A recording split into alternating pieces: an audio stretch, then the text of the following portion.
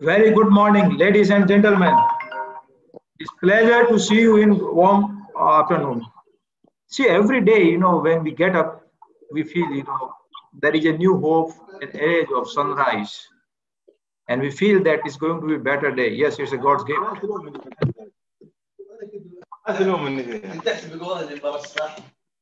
Please uh, unmute yourself. Friends, surprisingly, this notion is getting embedded to all business talks nowadays. We have never experienced so many challenges and uncertainty as being witnessed during current year 2020. Be it pandemic, new norm of working from home, unlearning experience, learning new norms of life, huge swing in oil pricing, all projections suddenly changing to SOS mode, upcoming multiple regulations, and finally, Brexit deal happened last week. We are filled with multiple questions as well as fire in our belly to ride this tide. We have been feeling a dire need to update ourselves. And we are thankful to the speakers who have accepted our invitation at short notice. And I'm sure this is going to ignite a dire need and multiple silver lining may come out from today's discussion. Friends, SIBN, Saudi Indian Business Network, has been always front runner to bring about updated knowledge to business community. The organization is supported by volunteers like us, part of our CSR activity. This works under patronage of Indian Ambassador, His Excellency Dr. Ausaf Saeed, who really has conceived this child during his tenure as Consul General in year 2004. And recently, he has taken a new responsibility as ambassador and has relaunched SIBN with nationwide network we are going to arrange multiple business events covering B2B uh, meetings, trade delegations, and professional learning sessions, which are need of our based on uh, suggestion from our members. I'm sure you will find it valuable having all to hear learned speaker. I'm thankful to speakers as well as my team, colleague. Special thanks to Ms. Hamna Mariam Energy Council Commerce and PIC, MS INSA, Amjad Sarif, Jakaria Biladi, Gajan Parjaki, Mr. Ajujurab, my friends who has worked hours and hours from their personal time to bring out this event. Ladies and gentlemen, let me welcome you again to the saga of business and let's hear our keynote speaker for the today, Mr. TV Mohandas may have his slide, please.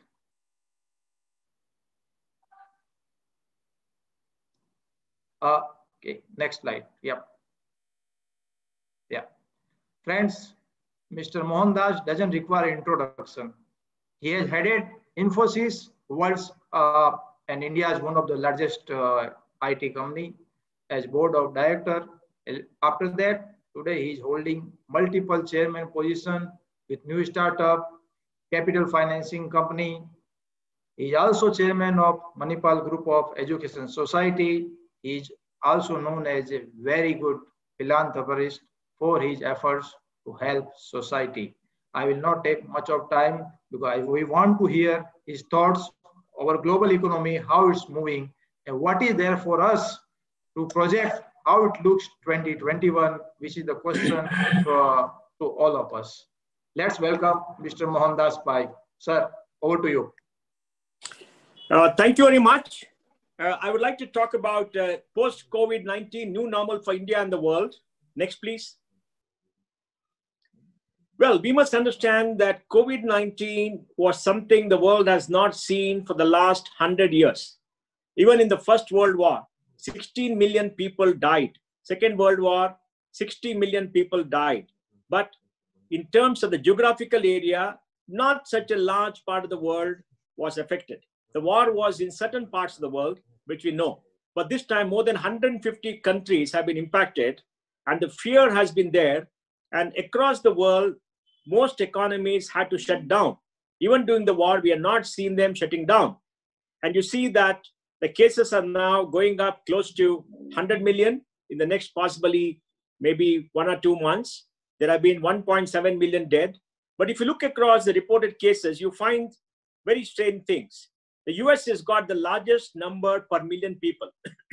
Even now, it's going up by more than 100, 150,000 numbers. Death rates are very, very high.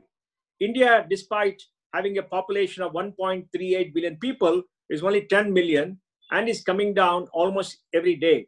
Yesterday was only 20,000 with maybe 350 uh, people dead. In terms of death rate per million, in terms of infection, India has done well. Brazil has done reasonably well, even though the small country of 220 million people. We are seeing it come up in uh, Europe, and everybody is pinning hopes on the vaccine, and the vaccine has been rolled out. I saw yesterday that Prince Salman in the in the Saudi in the in the Royal Kingdom of Saudi Arabia also took the vaccine. Leaders take the vaccine, citizens will follow because they want leaders to lead, and I think there's a very very good sign that the world leaders trust the vaccine and the vaccine could be a panacea, possibly help people uh, come back to economic life. Next. India's health impact, well, you can see the data here. The death rate is quite low at maybe 120 right now per uh, million population. And the uh, infection rate is also light low compared to uh, what the US and other countries are. Is affected different countries differently. China, we don't have proper data where the Chinese released data for some time and then they have not released data. We don't know. But, but the virus did come from China. And all around the world, by possibly February, March, you could see a downslide in the virus, virus impact because of the vaccine and many other matters. Next. What is the economic impact? The economic impact has been devastating. The world GDP may come down by 4.4%. This old data, it could be maybe 5 to 7%. Pre-COVID, the projection was 2%, so there's a swing of maybe 6.5 to 10%. And if you look at the United States, they'll have negative growth. Europe will have large negative growth. These are old numbers. The negative growth for the for Europe for the full year could be much higher because they're shutting down now. And India, the post-COVID projection was 10.3%, but I think it'll be close to maybe 5 to 7% because India is doing well. We come out of COVID. Uh, Japan is minus. China is still plus because China had minus in the first quarter. So all around the world, and how did the global economies respond? The central banks of the world reduced interest rates to flood the market with liquidity. USA, the long-term interest rate, the, the overnight interest rate has come to 0.25%. Japan is negative. India has come down. Eurozone, no interest. Canada is down. Everybody is down. They flooded the market with the stimulus so that they believe that liquidity and financial support will uh, help people. So I think it's extremely important for everybody to understand that the liquidity surge that has come as a response to COVID will remain for some more time. And this will possibly increase investment, create asset bubbles, we don't know. But the world is in a very delicate situation as far as investments and response to the government is concerned. Next. This time is different. Every time is different, but this time is really different more intense and sudden. We have never seen lockdowns on large part of the world. We saw lockdowns, sudden drop in business. So tourism, uh, international travel, local travel by air, hotels, hospitality, cafes, everything that used to go through as part of normal life has come down. It's more pervasive. It started across many countries. And before COVID came, the world economy was very fragile. Uh, we are seeing the US-China trade war we are seeing much tension in the South China Sea.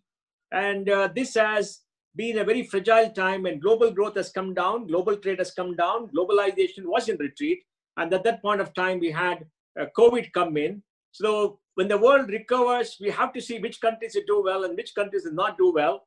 But what is clear is COVID-19 is an inflection point in the rise of a new world. And I'll talk about that later. And today the global economies are more integrated exports as percent of global GDP went from 19% to 20 to 30%. International travel went from 682 million to 1.48 billion people. So the world is more interconnected. Nobody can shut up the countries for too long. They will be impacted. Yes, many of them are shutting up the countries. It is good for the short term to keep the virus at bay, but sooner or later, what happens elsewhere will impact all of us. Next. The COVID has uh, exposed the over reliance on China. China makes 24% of the world's manufacturing. Largest exporter, largest importer, largest foreign currency reserves, largest investor around the world. And suddenly the US found that 92% of some medicine comes from China. Japan found a large part of its manufacturing comes from China. All the world found how dependent they're on China. And while the US China trade war is going on, President Trump was trying to get back manufacturing to China. This over reliance on China, which has been exposed uh, during the lockdown in China in February, March, has made the world think that they must diversify their supply chains. They must not depend so much on China. And that means China, which has been leading the world in growth for the last many years, uh, will have to now relook at growing its own internal economy. And China is a challenge for the whole world in terms of security, in terms of its policies, and in terms of what it's trying to do. And the world is very concerned. It had an impact on investments. Germany has passed a law to say that certain companies cannot be taken over unless government approves. Japan has done the same. India has done the same, locking out Chinese investment in this country. Uh, because after what happened in Wuhan with the virus, the world has reduced trust on China. And now we'll see possible next 10, 12 years, supply chain more diversified, everything not coming from China, and we'll see a very different kind of world. Next. Well, the world stimulus so far, $12 trillion. This does not exclude the one nearly $1 trillion that President Trump is supposed to have signed yesterday, but will sign today. That means by the time it ends, you could end up with maybe 15, uh, $15 trillion. And if it is $15 trillion, then I think we are going to have a, so much of money floating around. Uh, before the stimulus, the world had $36 trillion of government bonds from the OECD, out of which $18 trillion was negative. Now it may gone up to maybe uh, $50 trillion.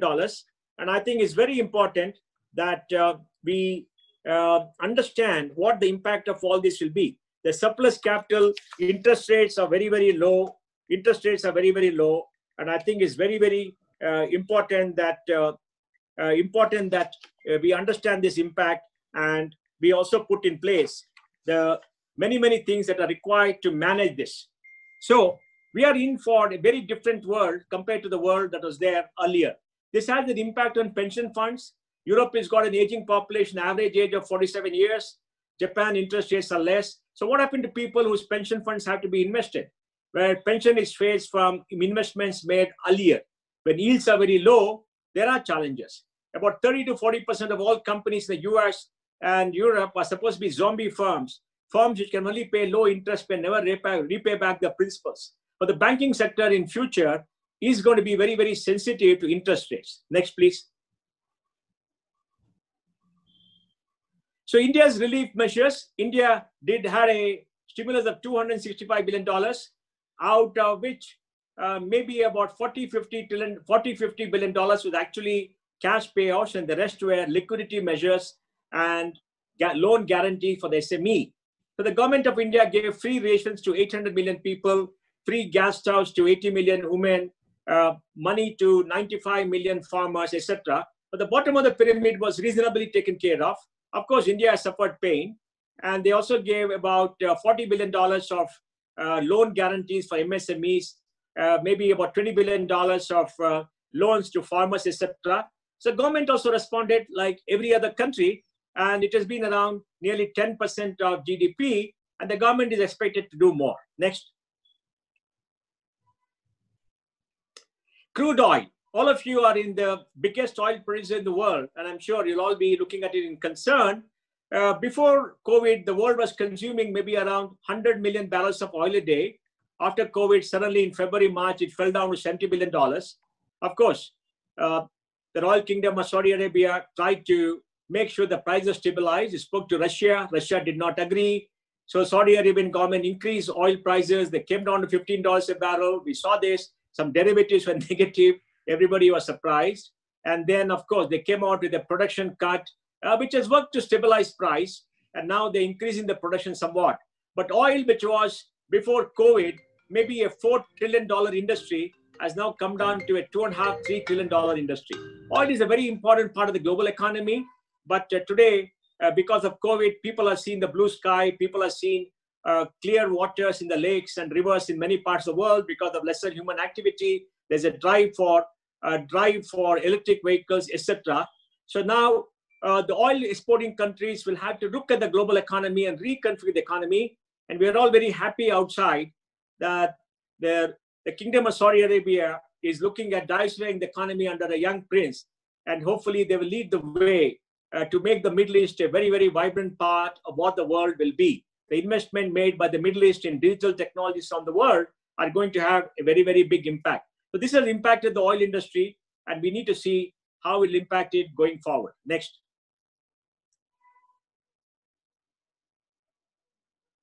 And this slide shows you the impact of COVID. Digital technologies and the digital world has taken off. And then the physical world, in terms of airlines, they're all down. International travel has almost come to a standstill. 12 of the major global airlines are in trouble. They may go in for bankruptcy or whatever. But there is a deep challenge all around the world, and our habits have changed. Research says that for 45 days, if you change your habit, your habits change forever. Today, most of us uh, get up in the morning, we, we, we look at news on our mobile, we watch TV on a mobile, maybe, then we buy goods on e-commerce, we do banking on the mobile, we have entertainment on the mobile, children get education on the mobile, we get health services from the doctor on the mobile, and uh, we also do our business on the mobile. So all companies have to reconfigure their business. In India, 85% or 90% of the total 4.5 million IT employees went to work from home within 15 days. They're extraordinary. Today, financial institutions, banks, government, everybody went from work from home. And when you come back to normal, maybe 25, 30, 35% of people will still work from home by rotation because the world has learned that you don't have to travel so much, you don't have to commute so much, you can get work done. Of course, we need human interaction. There's a need, but the way we work, the way we live, the way we communicate, the way we do business is going to change forever.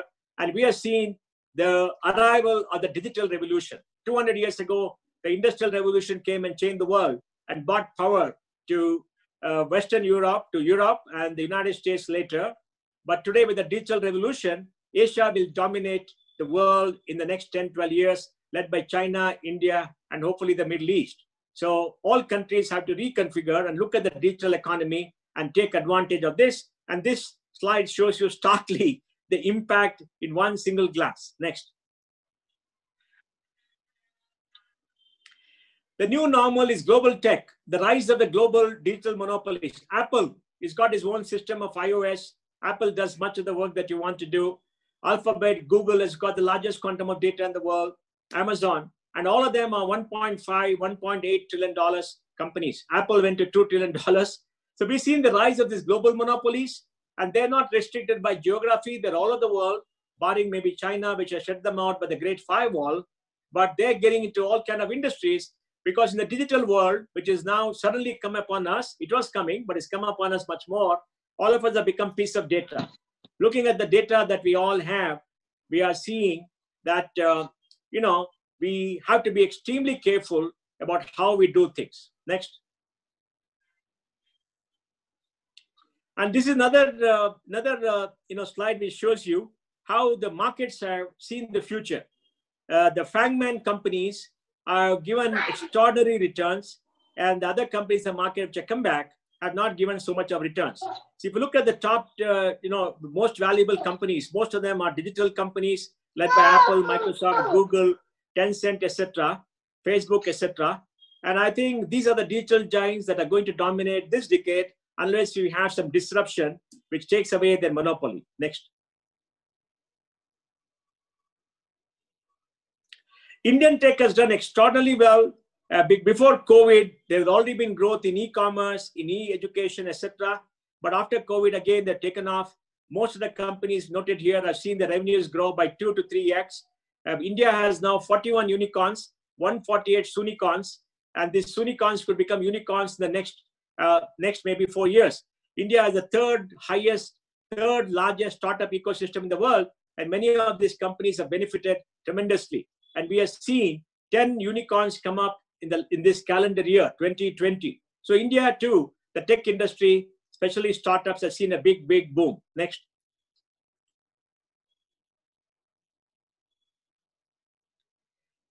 Now we are finding that agile tech companies will find more opportunities to innovate. Uh, you are seeing here that uh, how companies are growing their revenues, uh, whether they come back to pre-COVID levels or their post-COVID levels. Many of the digital companies are ahead of the COVID levels, and many of the industries there, physical industries, are still behind COVID.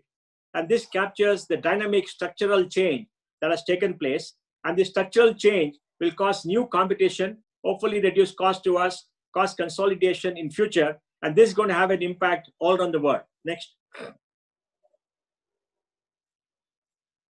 New normal investment. What are the impact on investment? There'll be a good flow of flow of good quality secondaries, consolidation financial services, growth in manufacturing using AI, machine learning, IoT, and 3D printing, etc. New age businesses, clear path to profitability, brand and alternate models, structural deals, sectors with good recognition. So, in an extraordinary number of new age industries, you're going to have rapid change and new players are going to come. And this means capital will flow toward these new companies, give them disproportionate value, and they will have a competitive advantage to take over older companies. Could you believe that Tesla has more value than all the auto companies which have been around for 100 years taken together?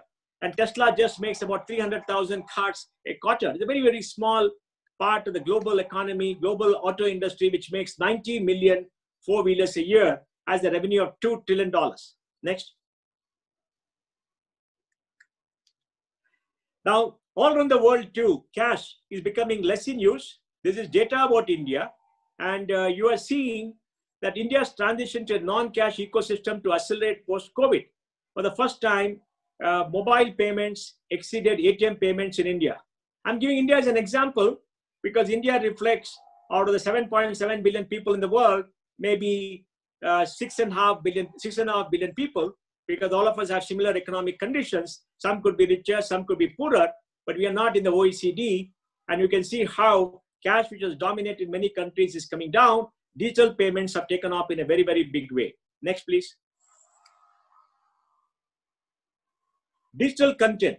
In India, in uh, September, Jio had 14.7 GB of data being used by every subscriber, and Airtel has 17 GB of data. And you can see viewership on Hotstar and Netflix have shot up. And you can see that all across, uh, the use of music, everything else has shot up. Digital consumption has shot up to the roof. And this shows that there's a disruption in the world led by the digital revolution and led by telecommunications and led by enhanced digital, digital consumption. In India, you can almost get unlimited data for one and a half dollars a, a month. So any country which has got high quality wireless at very low rates is going to see an explosion of digital businesses. Next. Here are some examples from India about education. Next. Byju is a great example. Byju, the world's largest edtech company, the valuation of 12 billion. You'll all be happy to know that Aarin Capital, where I'm one of the founders and the chairman, gave $9 million to Byju at 20 million pre eight years ago. And today they're worth $12 billion. They're done extraordinarily well. They have 95 million subscribers. They're in the Middle East too. They got five and a half million paying subscribers. And the digital explosion post COVID has allowed them to dominate the entire world. And this is a classic example of how some companies have taken advantage. Next. And they've changed people's habit. Children get up in the morning, they go to the next room, put on the uniform, go to the next room, open their laptop, sit down, attend to the classes, shut it down at four o'clock, and then go change and go play inside the house. Can you imagine that? They don't go to school, they're quite okay. Yes, the change in habit is not very good for children. It's not very good for students because we have to socialize. We are human beings. We need to meet people. We need to learn to live with each other. We can't become widgets. We can't become an AI algorithm. So are we in danger of becoming an AI algorithm? Maybe. In countries like Japan and Tokyo, Japan and Korea, there are people who become addicted, who become reclusive, who are sitting in their room the whole day and playing on their, uh, you know, on their mobile. This is not good for us. So we have to make sure as a society and as a people, we moderate digital consumption uh, just for the right levels so that we get used to it. Next. In health tech, we have seen enormous amount of digital innovation. India is creating a national health uh, stack where they'll have all the data, the plumbing layer connected to payments and your bank account, where all your data will be captured, will be available to you. You can go to your doctor and show them the data. Doctor can download, you can put all his diagnosis there, and you can make payments. And this health stack will be there like the India stack. India has got something like the India stack, a piece of technology. I'm giving the example just to show people how technology is changing their lives. Next. And look at this company called Dozee. It's an extraordinary company. Dozee has used IoT to create a blanket which has got a lot of IoT devices. They put it under the bed, and then for every person in the ICU or in the bed, they monitor your cardiac, respiratory, sleep data. They monitor your vital signals, and they send it by mobile to a doctor who could be a little bit away, so that uh, people don't need to be in the ICU. Why do you go to the ICU? Because the ICU has got all the equipment to monitor all your vitals on a minute by minute basis so that you can get the best care because the critical condition. Now, the COVID has shown that uh, ICU beds are in short supply, and this kind of technology is helping save people's lives. And because the data that Dozee could get, they say in 25 to 30% of cases where people are using this data, they can predict heart attack, they can predict what is going to happen. Because if you look at data of people uh, who have uh, had certain conditions and three, four later, uh, three, four uh, uh, days later, they suffered something, you can get the data to predict and find out uh, what could happen if you are in the same condition, the same amount of uh, same amount of data. So I think startups like this are revolutionizing healthcare and hopefully will make people get cheaper and better access to health. Next. Agriculture has seen a dramatic shift in uh, use of agri-tech uh, because in India too, we found that much of the labor went back to the houses and farms were bereft of labor. So farms have automated all across India. And tomorrow, uh, tomorrow when in the farm sector globally, automation is going to be the key. So the inflection point is going to change. One of the most traditional industries, a traditional sectors the world has ever seen.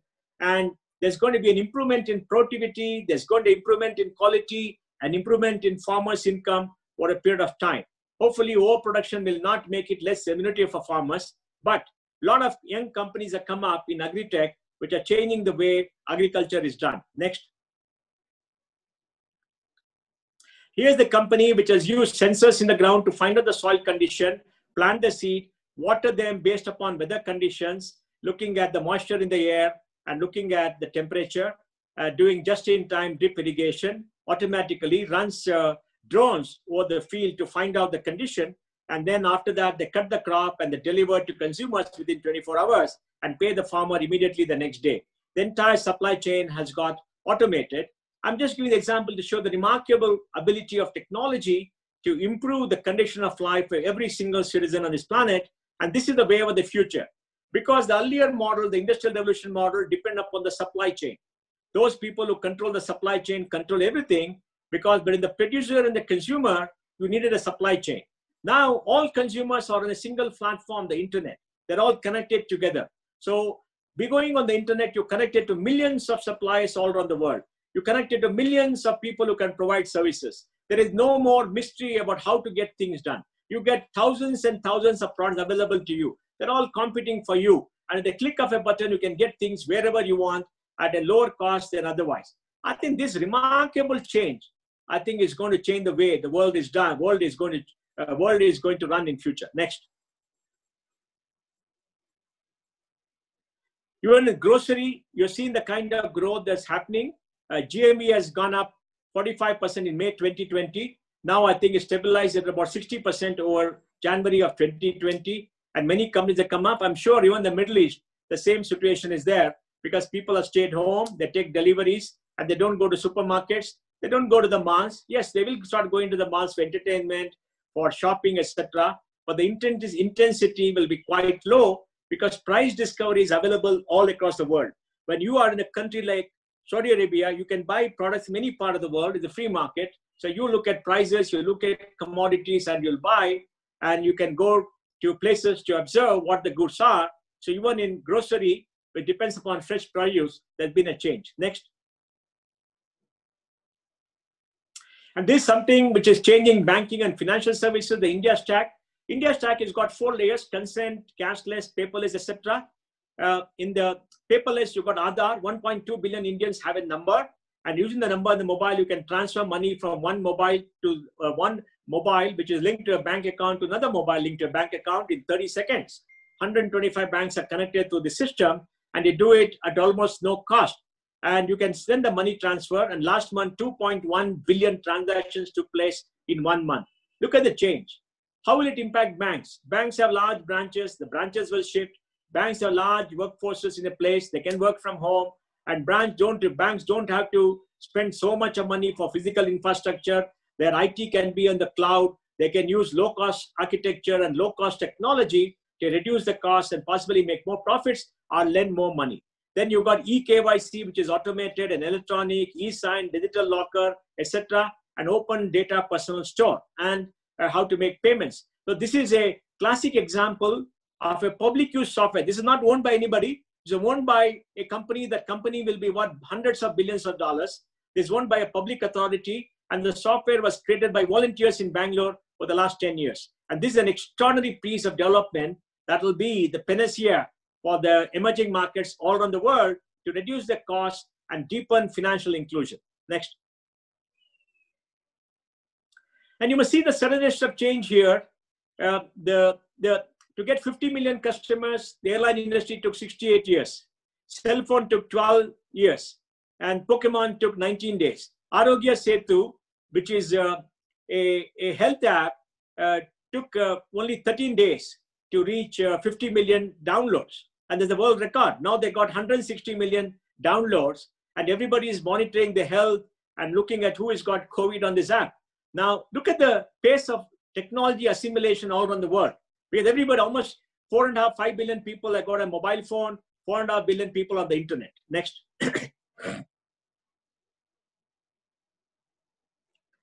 Tech-enabled governance. Government's interaction with people also is uh, expanding. And I think Prime Minister Modi had a vision of digital India five years ago, and now it's working. 400 million people have got bank accounts. Uh, 80, 90 million farmers get money in the account directly. Yesterday, I think two days back, he released another installment of money. 85 million people, a woman get free gas connections. About 23 million building workers got money, etc. Now, in our interaction with government, we don't have to go to government offices. They will transfer money due to us by directly by DBT, direct benefit transfer. Our documentation, everything will be there, approach will be there. So this shows a change in government. It means the power of government officials to control the activity will come down. There will be greater transparency, greater service for citizens. And this is a change that's happening all around the world. Even in Japan, the new Prime Minister Suga-san has said that he is going to revolutionize many of the Japanese practices and create a digital government. For example, the Japanese used to have their own personal seals. That will be done away with. And many reforms are coming all around the world. Next. So India's long-term growth story is intact. And to my mind, this COVID means a shift of economic power from the West to Asia. Asia has 60% of the world's population. Asia has maybe 35% of the world's GDP, and Asia will dominate in future. Asia includes the Middle East, India, it includes Southeast Asia, it includes China, it includes Japan. What is required in the common market without China dominating. Now we have the RCEP where many countries have come together, but China is the big beast in the room. We need to be careful because they can dump all their capacity into other countries and destroy local industry. But whatever it is, with Brexit, the UK will open up to the entire world. The US will now diversify supply chain away from China. New security uh, arrangements will come with uh, United States, Europe, Australia, Japan, and India coming together. And I think um, economically, India is in good shape. There's the lowest external debt to GDP of only 20%. It a low trade deficit, strong tailwinds in, in the form of demographic dividend. This year has been a tough year. Next year is going to be a high growth year and India and the Asia will lead the world in the next 20 years. Next. Thank you very much. And I want to end by saying we must look at this event as an inflection point, an event where the digital world has come upon us. The digital revolution is in full sway, and the world has changed dramatically. People's habits have changed, new business models have come, new ways of working is going to come. Everybody is interconnected. And there is going to be a deeper participation by people all over, better services, access to education, access to health, access to finances is going to accelerate and economic power will shift from the West, which is an aging society, to the East, which is very, very vibrant. New political equations will come up in this decade. So this decade, which you're going to see in the next three, four days, 1st January 2020 till 31st December 2030, is going to be the most dramatic change in the world ever since the First World War and Second World War changed the way the world ran for very many centuries. And this decade will remember as the decade of the digital revolution. And all of us, professionals, business people, citizens, should see how to take full advantage of that and do well for others. Thank you for inviting me, and thank you very much for listening to me. I am speechless, Mr. Mohan. I don't know how you remember so many data. It's coming like, you know, uh, supercomputer in your mind. I just only one question from my side.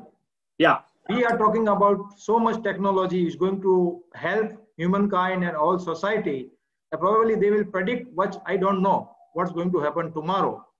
My only one question, I just wonder whether we have any model which can say how is going to be 2021. Well, I think uh, 2021, all economies are predicting the economy will come back because Europe will recover. This is going to be the worst month possibly. Uh, US is recovering next year. It won't be negative. Uh, China is recovering. Japan has pumped in money. So all parts of the world will recover. The growth will be very high because the last year's 2020 growth was very low. So economic opportunity will expand. But the world will be a different place.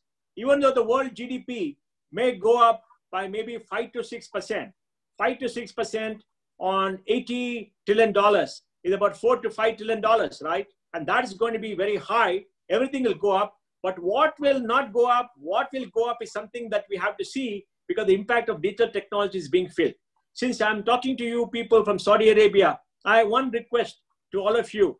I think the Kingdom of Saudi Arabia should build a digital partnership with India. We must remember China has its own digital empire with Ant Financial, Baidu, with Alibaba, everything, and it is a is very very advanced. The United States has got all the global monopolies: Google, Facebook, Amazon. They want to dominate the world. Europe has shut itself behind data protection laws. They don't have digital companies. So what should the rest of us do? That's why I would urge all the authorities in Saudi Arabia and all of you to look at Saudi Arabia India digital partnership, where Saudi Arabia could leverage the digital assets India has and use it to train his own people in artificial intelligence, machine learning, in IoT, in 3D printing, which is the dream of the young Prince Salman. And I think by doing that and accessing the Indian talent, they can do extremely well. Let me give you some data. The United States has 6 million software engineers. 1 million are Indians. In India, 4.5 million people work in software, out of which 2 million work for American companies. Out of 8 million working in American companies, 3 million are Indians. They're the most dominant workforce for America in the entire world. 25% of Silicon Valley founders are Indian. Of the top 10 software service companies by market value, 10 are Indian. Of the top five, three are Indian. TCS is the most valuable software service company, overtaking IBM. Of the 10 of the, of the 20 million people, uh, I mean, 2 million people working in the top 10 companies, 1.5 million are Indians. And every year, 250,000, 300 young people join the software industry in India. So India has an inexhaustible base of software engineers and technology and everything else. Uh, Saudi Arabia has an advanced economy which has to reconfigure, it has to change, it has to be a dominant part of the digital revolution in the future. And it's time for a Saudi uh, India a digital partnership, which will now redefine the way business does, does uh, business is done in the future. And I think with uh, the Saudi Arabian investment, the Vision Fund, with MASA, which has now suddenly become extremely successful, and the deep friendship that Saudi Arabia and the Middle East has with India and Prime Minister Modi is a new era. So we require a digital partnership between the Middle East, led by Saudi Arabia and India, to redefine the digital world in future and work together to make each other more prosperous. Thank you, Mr. Mohan. It's excellent. I think we will take up more questions. Before that, you know, I just want to invite one of the legend person who is a businessman by birth he carries very strong ties with uh, India. He has been head of uh, Chamber of Commerce as vice chair for multiple uh, innings and very special to SIBN because he has served SIBN as a founding member and continue today as a role of president for Jeddah chapter. Let's welcome Mr. Mazen Batterjee to give a word and probably he can give the best answer how uh, we can leverage technology advantage what is available in market. Mr. Mazen Batterjee, over to you. Okay, thanks a lot and really uh, thanks Mr. Mohan what we hear uh, very advanced information and uh, we hope, uh, as you mentioned, uh, 2021 will be better and uh, many things will recover. And I am sure the partnership between uh, Saudi Arabia and India is great. And we are looking to be better because it is a long, long, long relation, thousand of years. So still, uh, we are looking more, more and more. Uh, we have uh, maybe most of us hear about the budget of the 2021, which the king uh, announced uh, 10 days ago, and the deficit has reduced. And this is built in price of petrol, I think, uh, less than $50. So I think if the price of dollar, price of petrol has increased, I am sure will be big difference in the budget. And this is, of course, reflect in all economy. Uh, most of us, we know how uh, maybe have hard time and uh, from beginning of the coronavirus uh, start, uh, the government take very strict uh, rules as no going, no coming, a lot of, I mean, strict things.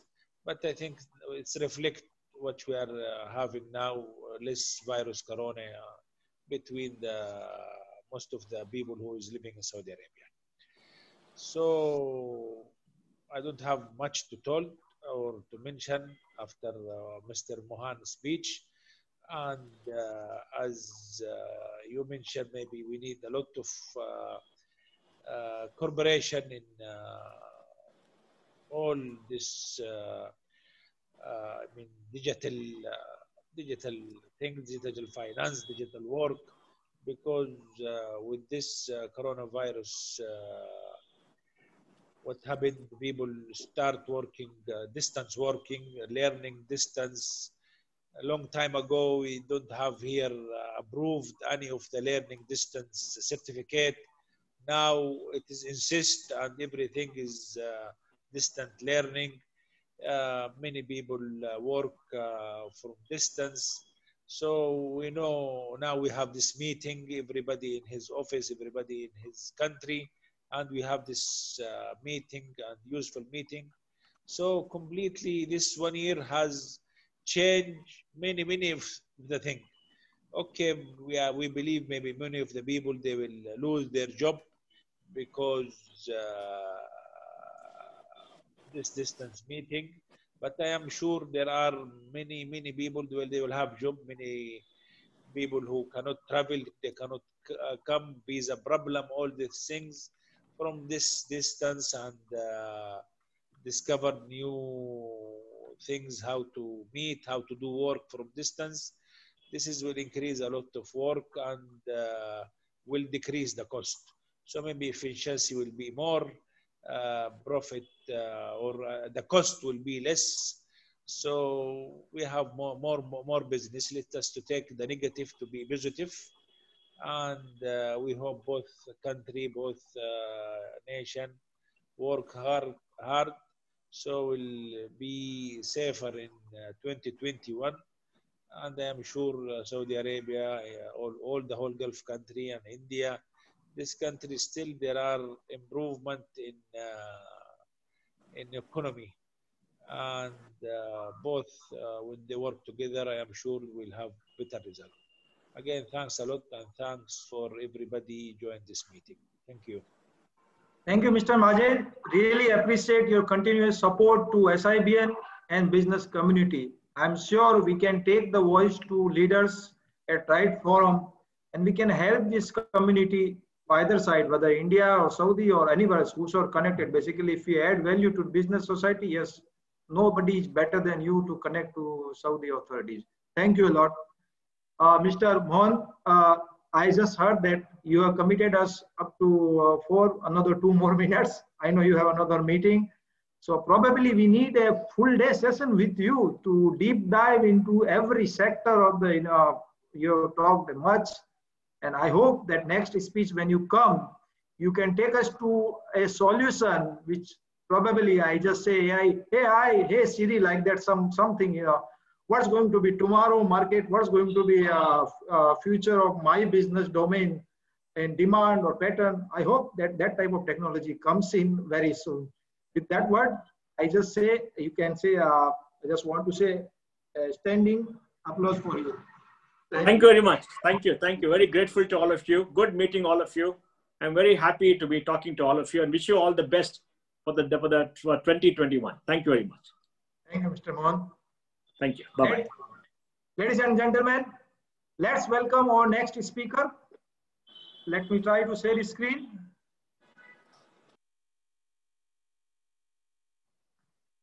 He's our own SIBN member and sectoral head for finance committee. Friends, he carries splendid knowledge on Saudi Arabian business and advisory. Let's welcome Mr. Raghav. Yes, one, one point, I just had a message from Raghav. Uh, suddenly he has to move out. So maybe he's having some net connectivity issue, but definitely it will work well without it video. So Raghav, be free to on off your video and let's uh, share your screen for presentation. Raghav, over to you. Uh, thank you so much, Vijay, and hope I'm audible to everyone. Yes. Okay. So, uh, can you can you move to the next screen, please? Uh, you I think you had? Yeah. Okay. And I was, uh, you know, listening uh, in the in the in the meanwhile to uh, Dr. Pai, and you know, on the back of Indian growth story, our Sensex has also hit 47k for the first time today. Wow. Okay. Yeah. So, uh, so uh, very, very good afternoon, uh, everyone, uh, for for attending this. And uh, you know, when when I was looking at the budget, so so firstly, I mean the the entire session for the for sort of unraveling the nuts and bolts of the budget should last at least for an hour. However, I'm not here to scare you, and uh, I've been allotted 10 minutes, so I'll try to sort of skim past you know certain major aspects of the budget in the time that I have. So when you look at the overall budget, so you know if it comes across as a very balanced budget in the sense that it offers assurances from the government's ability to manage the crisis and gradually restore the pace of economic growth. Yeah, and the stimulus packages which the government has offered, uh, you know, during 2020 has certainly taken a very heavy burden on its expenditure. And even as public revenues declined amid, uh, you know, decreasing oil prices, and as Mr. Pai also mentioned that during April uh, 2020, there was, uh, you know, a negative forward on uh, on the oil prices, and this sort of had, uh, you know, severe repercussions on the overall oil trade. So, uh, you know, despite the overall uh, emergency response that dominated the better part of the year, the government's central agenda of economic diversification away from the oil sector has continued, and the 2021 budget, on an overall basis, indicates a continued strong commitment uh, to achieving fiscal uh, fiscal stability and sustainable long-term economic growth. Yeah, uh, amid continued oil market volatility. We view the government's decision to maintain a similar level of public expenditure as last year, despite the volatility in the oil market, as a testament of its committing uh, towards achieving fiscal, social, and economic targets. Yeah, indeed, the focus of 2021, as was uh, the case in 2020, would be to sort of build the non-oil economy, which uh, you know remains and which will support the higher economic and social reforms as well as employment generation. So on onto uh, onto this particular slide, uh, you know where I sort of captured the budget snapshot. So as you can see, the total revenues are forecasted uh, to be approximately 849 billion, which is 10.2% higher than the total estimated of 2020, which is around 770 billion, which I'll be covering in the next slide. And uh, you know, on the expenditure side, we would be having uh, around 990 billion budget for 2021, with a continued focus on promoting economic growth and improving spending efficiency. And the reason I say so, spending efficiency is that the expenditure which I'm targeting for 2021 is around 7% less than the estimated spending for this particular year, which is 2020, as the kingdom sort of uh, you know seeks to tame a huge budget deficit which has uh, arisen because of petroleum revenues and COVID crisis. Yeah, and uh, in this 2020, uh, uh, the kingdom also expects to post a deficit of 298 billion this year, which would be approximately 12, uh, approximately hovering around 12% of our GDP, as crude revenues are slated to drop. And the next year, our fiscal deficit is around 141 billion, as you can see from the slide, which would be, you know, 4.9 percent uh, you know, of our GDP for next year. And just some information nugget that we also plan to sort of balance the budget, uh, you know, by the end of 2023. Can you move to the next slide, please? Vijay, can you move to the next slide, please?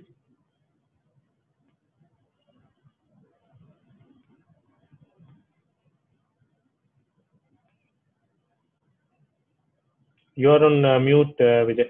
You can move to the next slide.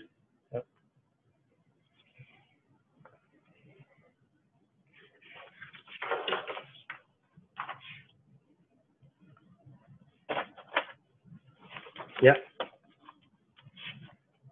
Thank you. So, uh, you know, as as you can see uh, from this slide, we expect uh, for the current year the tax revenue to sort of hover around 257 uh, billion, and the non-tax revenue to sort of increase from 592. Now, analysts will sort of certainly be aware that uh, you know we had introduced VAT starting uh, you know in July, uh, yeah, I mean in July 2020, and we also had custom duty. So that would certainly uh, you know have a full year impact in 2020, and for this reason, our tax revenue would have a significant jump as compared to uh, you know my non-tax revenue. Similarly, as, I, as, I've spoken about uh, the deficit as well, so 298 billion is where we would be ending in this particular year, and against 141 billion, which is our estimate. Point to note here is also around the public debt. So, in the public debt requirement for the same slide, Vijay. Yeah, the public debt requirement for uh, you know next year would be approximately 83 billion, which is expected to push my public debt to 937 billion by the end of 2021 which will be equivalent to 32.7% of the gdp compared against 854 billion as uh, you know estimated for 2020 which was approximately 34.3% of gdp however here worth noting is that the, uh, the anticipated sharp rise in the public debt resulted in the government raising the public debt ceiling limit uh, from 30% of GDP, which was in place since 2017, to 50% of GDP, uh, you know, which was amended in March 2020. Yeah. Can you go on to the next slide, Vijay? Right. So uh, here we sort of take a, a, deep dive on revenues. So as you see from this figure, uh, it demonstrates that the oil revenues will still remain the dominant source of government financing yeah, though the government is encouraging economic diversification uh, by encouraging and incentivizing small and medium enterprises, private sectors, yeah, and in fact, economic diversification is also one of the pillars of Vision 2030. And tax and fee deference are likely to sort of provide a boost to revenues next year as the authorities are expected to unwind the COVID related stimulus measures. And the 2021 budget also sort of uh, highlights that the economic the shocks which were faced by the kingdom resulted in a reduction of revenue for 2020 to 770 billion, which is 7.6% lower than what was envisaged in the original 2020 fiscal year budget, or 16.9% lower than the 2019 outcome. And the brunt, you know, of 2020 uh, revenue decline, which I mentioned in my opening remark, stemmed from the uh, stemmed primarily from the fall in international prices that saw the oil component of public revenue decline by almost 30.6% year on year. Yeah. And uh, you know, again, some uh, some information nugget here that the average price for 2020, uh, where the uh, the Brent oil was trading at approximately 41.1 dollars as against you 64 dollars in 2019. However, it is worth noting that according to International Energy Agency, which is IEA, oil demand in 2020 was estimated at 91.3 billion uh, million barrels per day, which is 8.8 million barrels per day lower in 29 than 2019. However, the demand is anticipated to uh, increase to an average of 97.1 million uh, barrels per day in 2021, which is sufficient to support the Brent crude average prices to $46.7. So coming to uh, Dr. Mazen's point as well, that even in 2020, the likely Brent price is to trade below $50. That is, a, the average is expected to hover around $46.7. Yeah. And in terms of the, uh, yeah, so in terms of the expenditure, the actual government spending, uh, you know, in the fiscal year 2020 is estimated, uh, was estimated to approximately 1.07 trillion compared to the original spending of 1.00 uh, trillion. So the authorities, uh, you know, in 2020 successfully contained total spending amid stimulus measures such as wage and income support for Saudi nationals, COVID-19 suppression measures in the healthcare sectors, Sanad program, and uh, you know, I mean, several loan deferment and moratorium schemes which are offered to small and medium enterprises and other businesses by diverting funds from a variety of sectors. And uh, as you can see, uh, of all the three largest spending components by sectors, education, defense, and healthcare and social development, only education saw an increase in 2020, uh, you know, rising by an estimated 1.4%, uh, you know, year on year. Health and social development, meanwhile, were contained despite COVID by a diversion of funds within the components. Yeah. And a key pillar of spending support, uh, you know, expected by the government in 2021 uh, relates to its ongoing efforts under the privatization program, which is a source of revenues as well as reform uh, objective. So privatization program is a public-private partnership, which is also one of the pillars and which is also part of the 13 vision realization programs, which is VRP. Yeah, as part of the vision, uh, bigger vision uh, 2030. Uh, moving on to the next slide, uh, Vijay. Yeah, so here, what I've tried to capture is, uh, you know, the uh, the deficit as well as the public debt. So the budget deficit in 2020 fiscal year has deteriorated sharply in both nominal terms as well as a percentage of GDP. So the budget deficit increased from 133 billion in 2019 to an estimated 298 billion. So in 2019, our budget deficit was just 4.5% of the GDP. It has gone up to 12% uh, it is estimated to go up to 12% by the end of 2020. Yeah. And uh, where against the next year, we are sort of targeting, uh, you know, budget deficit to be contained to 141 billion, returning it back to 4.9% of the GDP. And a widening budget deficit and the nominal GDP contraction together raise the public debt stock substantially from 678 billion, which was 22.8% of GDP in 2019, to an estimated 854 billion, which is 354, uh, sorry, 34.3% of GDP. Despite the still high budget deficit envisaged in 2021 to uh, 937 billion in nominal terms, an expected recovery in the real and nominal GDP will result in the public debt to GDP falling to 32.7%. So IMF uh, in this year has forecasted an average, uh, you know, shrink of approximately 4.4% of the global economy. Yeah, and uh, our own uh, Saudi's estimate is to shrink by at least 3.7% at the end of 2020. Where, uh, whereas for the 2021, our forecast is to sort of uh, increase our growth by at least 3.2%. So the increase in our nominal GDP will offset the increase in public debt in ensuring that my total GDP debt as a percentage of GDP comes down. Here it is also worth noting is if we can stick uh, for a minute Vijay on the previous slide. Uh, here it is also worth noting on the last figure, which is figure 2. Point, uh, which is figure 3, that where do we stand against public debt of emerging economies and the wider world. So uh, you know you'll you'll uh, you'll be pleased to note that we the country's public to debt ratio, public debt to GDP ratio remains significantly below its peers, a situation that will be maintained given these peers uh, you know have also witnessed sharp deterioration in the public sector balance sheets since the pandemic emerged. Yeah.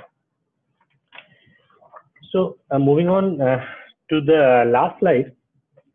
So here, uh, you know, so what what what are the key takeaways from this budget? Very quickly, supporting the domestic economy. So you know, COVID-19 related stimulus measures are likely to be eased further in 2021 as the domestic economy continues its recovery. However, the government will still maintain fiscal flexibility as an insurance against additional domestic and international economic shocks similar to you know what we are hearing now with the new strain found in UK, South Africa, Brazil, and several other countries. So it's it's very prudent on part of the Saudi government to still maintain you know fiscal flexibility. Uh, the second aspect is maintaining fiscal sustainability. So the budget statement uh, you know reaffirmed the government's commitment to fiscal sustainability and spending efficiency.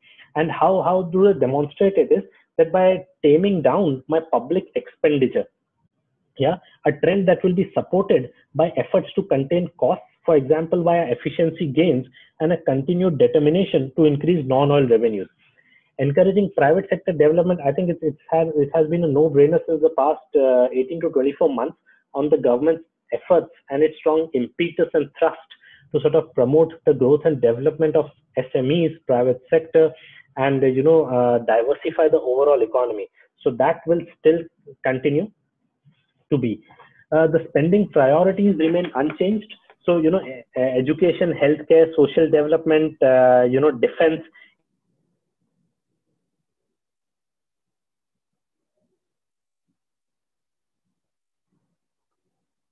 No voice. Uncertainties. Hello? Continue.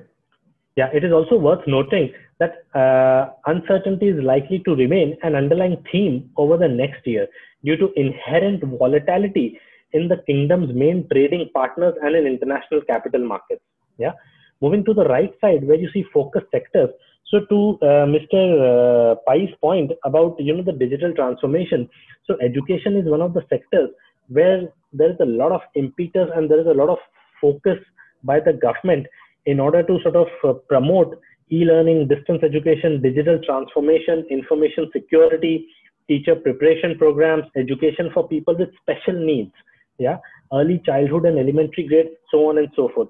Similarly, healthcare and social development, the budget uh, for 2021 is set to increase by 4.6% as compared to the uh, amounts allotted for the year 2020. And here, uh, you know, the, government is trying to focus on the model of care, the accountable care organizations in the decentralized healthcare clusters will continue to dominate the healthcare agenda. Moving on to infrastructure, I mean, there are a lot of projects, uh, you know, towards uh, aimed towards infrastructure, and in the 2021 budget, the government is seeking to renew its focus on Vision 2030 projects, even as it remains aware of the risks that further short-term stimulus measures may be needed. And for this reason, it continues to sort of maintain the fiscal, uh, you know, flexibility. Additionally, to aid rapid urbanization, the transport sector is, you know, expected to witness improved transport links such as metro systems, bus, and besides, the government continues focus on major projects such as NEOM, Red Sea Project, AMAALA, Qiddiya are expected to have a huge impact on the country's economy in the long term. So I guess this was a quick, uh, you know, snapshot of the overall budget. I mean, if, if there are questions or if, uh, you know, there are interested uh, in, uh, entities and individuals, uh, you know, please feel free to reach out to me and we'll be more than happy to, uh, you know, speak in granular details of what this budget entails for your particular sector. Thank you so much, everyone, for a very patient hearing. And thank you, Vijay, for the opportunity. And thank you, Raghav. Actually, again, is you know data driven i don't know how many data you are remembering and you try to concise in few minutes talk uh, we really say thank you for your making it out as promised. And friends as i, I just pick up last word uh, red sea and neom and the money is going in and new technology is coming in is mind boggling People are even talking about making water from moisture. That type of uh, new developments we are going to see in reality in Saudi Arabia. So that's a good message. You have opened up this forum a basis that we can discuss more on some sectors. We are having learned a speaker with us. Before I go to other speakers, let me just uh, get back to our uh, guest speaker, Mr. Rajpurohit is there? Yes. Okay, great. Uh, just let me see.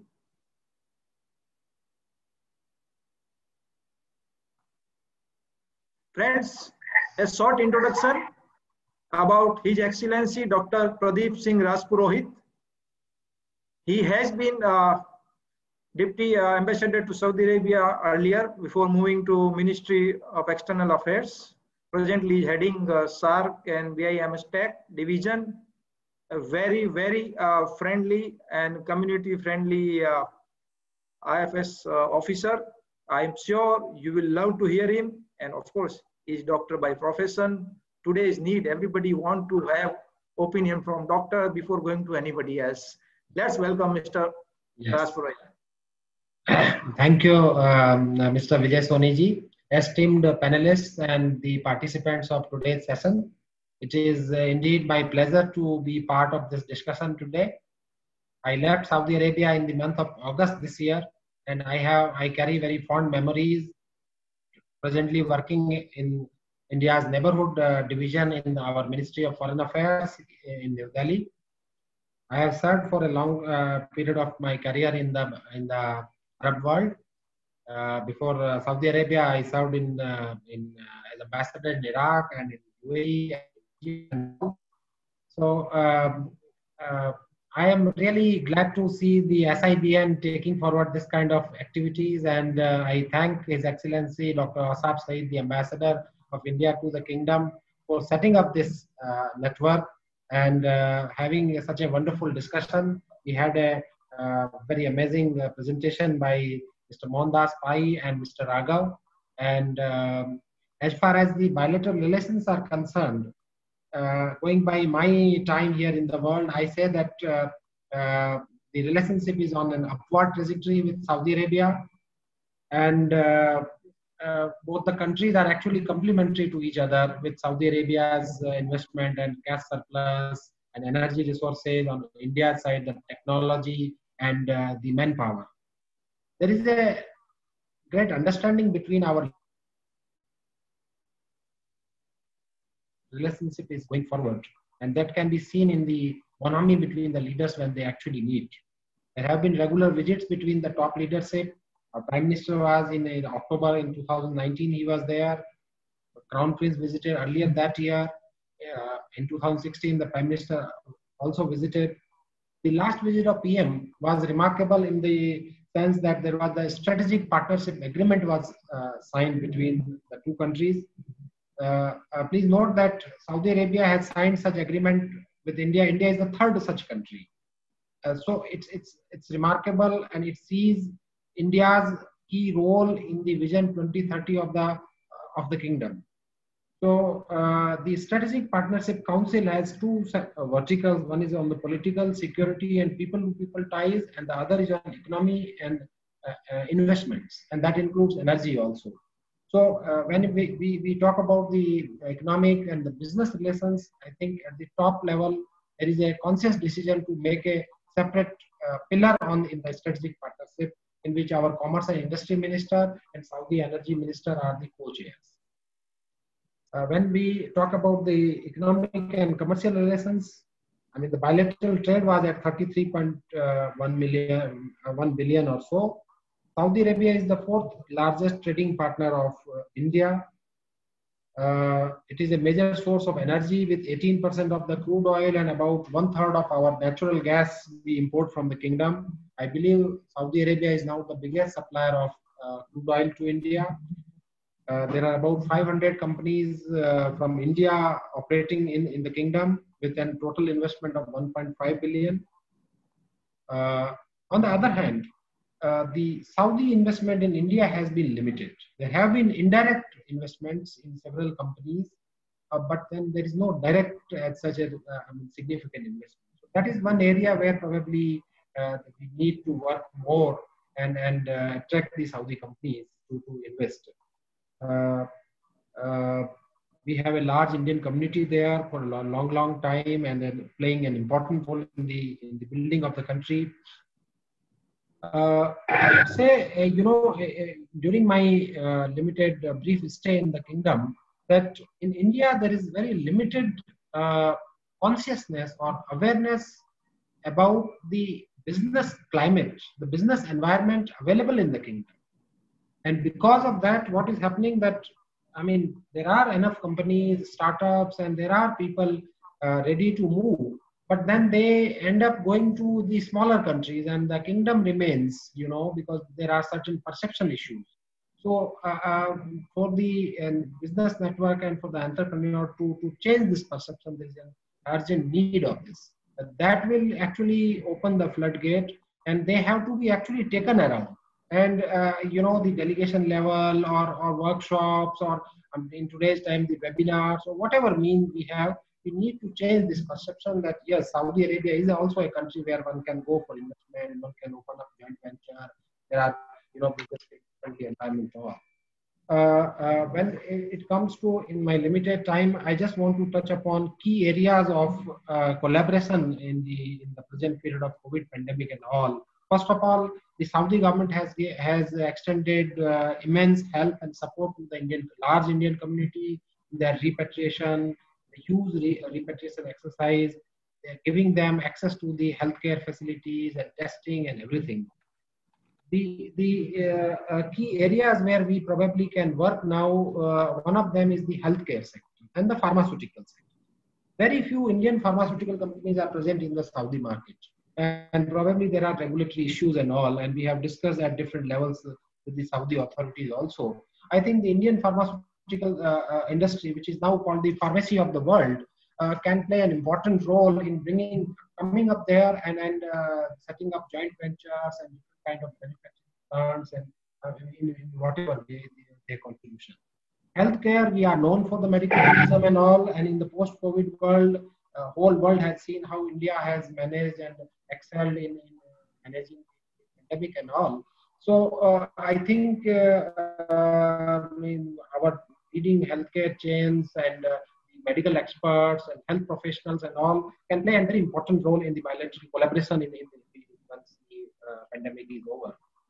The three other important areas where uh, I think already work is going on. One is uh, renewable energy, where we are now Saudi Arabia is also part of the International Solar Alliance. There's already an investment uh, there, and we have an MOU signed between the, the, two countries during PM's visit. I think uh, that is a promising area. the other important area is education. For good quality higher education in the kingdom, and they have been approaching, reaching out to the IITs and some key uh, uh, I mean, uh, Indian education institutions so uh, this is a promising area in terms of even the school, schools also some of the Indian entrepreneurs are in touch. Uh, the third other area is the civil aviation where we have signed an MOU and the number of seats we have increased, uh, I mean, uh, uh, significantly in the last PM's visit and even before. So civil aviation is another area because there is still a limited number of direct flights. What we need is, and not the connecting flights, where actually uh, there's a huge potential. Uh, and and uh, probably the other area where when the pandemic is over is is, is tourism and entertainment.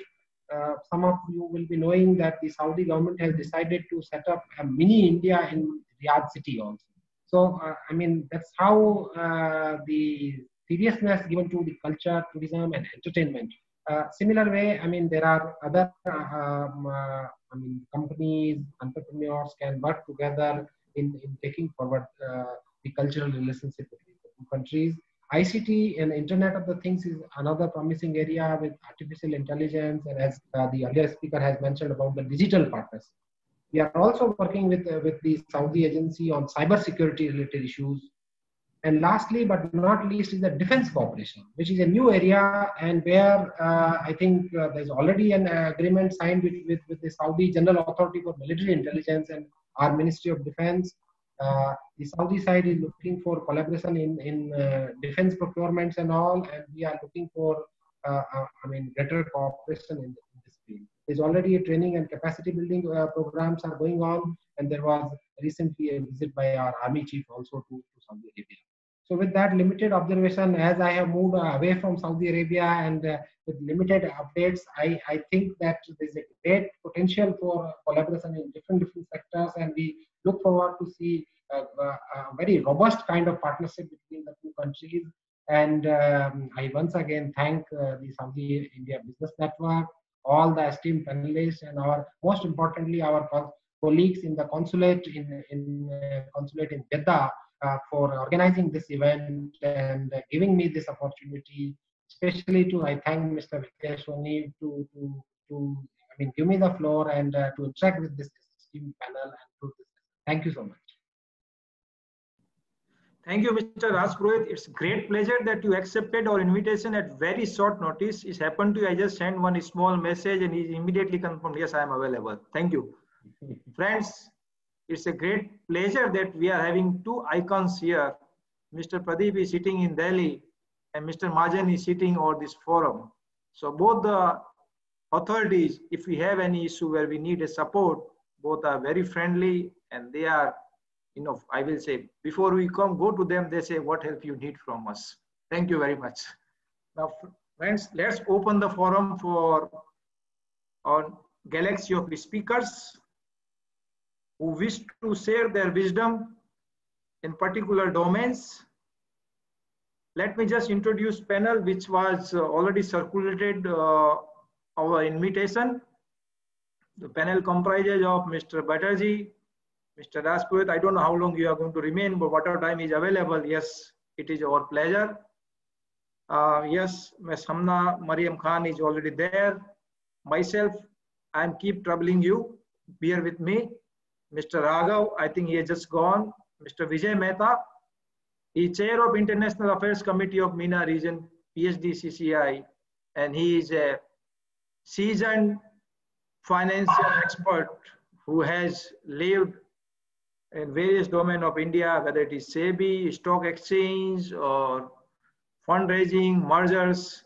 Is if you go to this profile, quite long profile he carries. Similarly, we are having with us Mr. Martin Schroeder, Senior Director. He has been always positive with SIBN. Last time he has said his knowledge about new regulation e-invoicing mean to create a new norm in business transaction. Unearth all hideout business, I think will go out to maximum extent.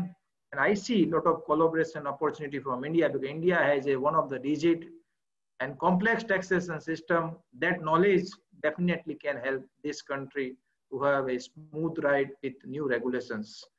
We have Mr. Rajiv Sukla. He is heading HSBC Saudi Arabia and always remain available with us to share knowledge on banking and financial affairs. Rahul Goswami, another legend in legal aspect. He has been with Saudi Arabia, right now is serving UAE and always available to support us on any legal matters we may come through. Yes, of course, Anindya, my friend, he is working with PwC India and he also want to throw light on what are the options available based on this budgetary announcement and global economy. We already set the forum and we listened a lot on that. Uh, before we go to uh, each one of you, what we did, you know, each one is having sector expert. So based on queries, what we received from registrant, we have come up some of the questions. So we are going to take up those. Let's welcome Mr. Martin to say, you know, people are worried, you know, a lot of regulations are coming. Mr. Martin, you're there? Yes, I am. Hello. Okay, great, great. Uh, we, we are hearing that a lot of regulations are coming as KT is becoming shrinking, oil price is going down, government also has to look for another source of revenue. Obvious, it has to be done. Now, all of a sudden we have seen a few months back VAT increased to 15%. custom duties are continuously being increased. Recently, one of the food product also 5% to 15%. Vegetables also covered that area, which is, although the challenge is, you know, Saudi Arabia, neighboring country, has not increased. There are certain issues. And we also hear income tax. So, Martin, what's your viewpoint going forward? How do you think this taxation are going to come in force and going to become part of our life and how it will impact businesses as well as consumer. Mr. Martin, over to you. Yeah, thank you, thank you. Um, yeah, I, I, can say a few uh, words about that. Um, Mr. Raghav, of, of course, already talked through a lot of the uh, uh, numbers, so I won't uh, be doing that, uh, although I will mention a few numbers. Um, but I think what we've seen for the year 20 is that uh, overall taxes, um, uh, the tax income for the, for the kingdom went down. Um, so there's a um, overall approximately 10% uh, reduction of tax income for the kingdom. Um, on the other hand, we've seen, of course, uh, as you mentioned, the VAT rate increase that kicked in in July which obviously um, has not resulted yet um, in its full uh, uh, growth in tax revenue, but it is expected to create additional tax revenue next year. Um, and actually, uh, the expectation is that the indirect tax income, so VAT income for uh, the Saudi government, will uh, increase with about 47%. Uh, so that's quite a lot. Um, on the other hand, we see that taxes overall um, either stable, uh, the income from, from taxes either stable or uh, slightly reducing. Um, so as a, as a sort of a conclusion on that, you can see that um, there's a shift from, from direct taxes to indirect taxes. So VAT and custom uh, duty income will be uh, the, the most important sources of income uh, for the kingdom um, obviously uh, utilized on, on, on, spending on, on the mega projects, uh, the transition to uh, privatization, um, and trying to uh, sort of uh, get away from the oil uh, income, or at least be less dependent on oil income. Um, it is mentioned by a number of speakers already. Technology, also within tax, technology is taking um, pace. so you mentioned e-invoicing, a clear indication that technology will take a prominent uh, uh, place in, in taxation. Um, and I think, as you rightly mentioned, the kingdom can learn a lot from India. We're actually, when supporting clients, also looking at India and how uh, things have been dealt uh, with uh, e-invoicing in India. So um, it's a great source of, of knowledge. Um, income tax, yes, there is a lot of um, rumors about personal income tax. So um, it's not defined in the budget, but you may expect some developments in that area coming year. Um, hopefully not, but yeah, uh, you never know. Um, the, uh, the kingdom is famous for uh, implementing uh, taxes uh, in a swift manner in, in many cases. Um, I think uh, another another area where probably uh, additional revenue will be there for the kingdom is uh, the real estate transfer tax that was introduced in October. Um, again, something that is quite new, but probably uh, comes to its full growth in, in the course of next year. Um, I think the biggest question, uh, at least that was my biggest question overall, is uh, what the impact is of the increase in uh, in VAT and custom duties on the ambition of uh, uh, the kingdom to be a trade hub in the world. Um, so hopefully we'll see also some changes in the rules uh, in relation to basically facilitating the movement of goods in and out of the kingdom. Um, probably with the ambition to also create more jobs uh, and more work to be done uh, within Saudi Arabia. Um, so I think overall, uh, taxes will be an important factor for businesses coming uh, in the coming year, um, with a clear uh, emphasis on the indirect taxes being VAT and customs. Thank you, Martin. Uh, it's great pleasure to learn that what's uh, looking forward. Probably we can also apply some AI which can predict, okay, uh, tomorrow this new regulation is going to come up so that I'm prepared well in advance, at least a few hours. Yeah, well, it, it's of course something you may expect. I mean, if we are moving indeed towards e-invoicing, which will be uh, mandatory by the end of next year, so in December next year, uh, probably has a real effect then in uh, 2022. Um, but obviously, when you start reporting uh, all your transactions in a digital way to the government, uh, then it's only a small step for the government to use uh, data analytics, AI, to go through your data and to find, let's say, omissions uh, and, and extra uh, opportunities to collect tax from businesses. Um, so yes, technology will be an important thing. Um, and as a business, um, you basically have to be sure that you are prepared to deal with that change and the change in transparency and, and automation.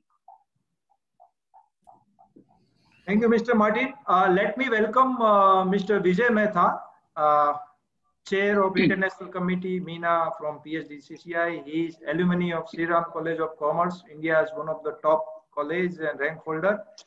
Uh, he also runs capital market activities. Uh, Mr. Vijay, you know, uh, I, I know your background and I'm reading the Saudi budget, which is talking about financial sector development program. Uh, Saudi stock market, I will say still, if you compare it with India, yes, there are limited players.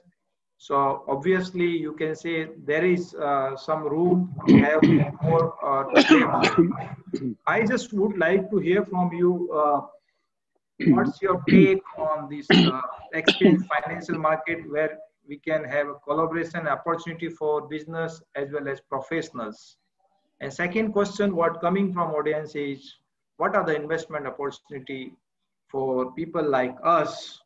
As we are seeing stock markets are bumping, jumping, although economy has not grown. So you can give some clues over it. Mr. Over to Vijay. Well, thank you so much. Uh, everyone has been uh, aware of the growth which the Indian capital markets have witnessed, especially in the last seven years. And today, the main exchange, National Stock Exchange, is probably among the best and the biggest in the world in terms of the daily turnover and the number of transactions. It's a great day today in terms of capital market because today we have crossed uh, 40,000 on Sensex and it is 13,850 in terms of Nifty, which is a lifetime record.